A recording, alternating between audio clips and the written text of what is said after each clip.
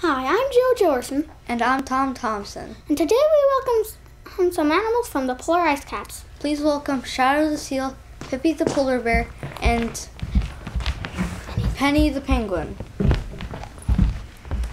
Why am I here again? We're getting interviewed about global warming. What's up, peeps? So, you have any fish to eat? I traveled all across the world for this. I got some fish. Want some? Great. I always have some with me.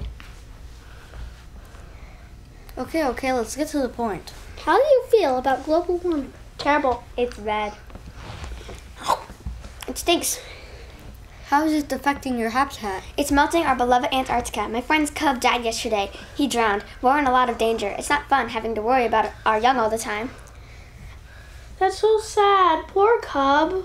How much food do you have? Are you kidding me? I can hardly find food. Yeah, it's really hard to find food. So hard. Just to get that across. It's hard. Penny, how are your young? It is getting hotter. It is not good for them, and they are getting stinky.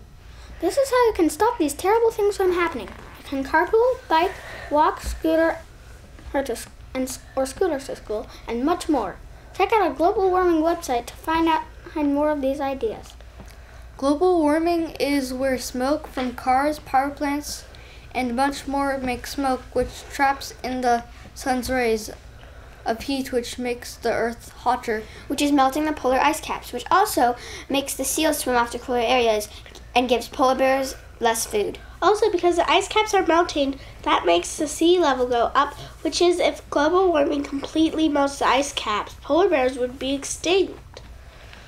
And the sea level would go up to 30 to 40 feet, which means less land for animals. Thank you for watching and goodbye. Goodbye. goodbye.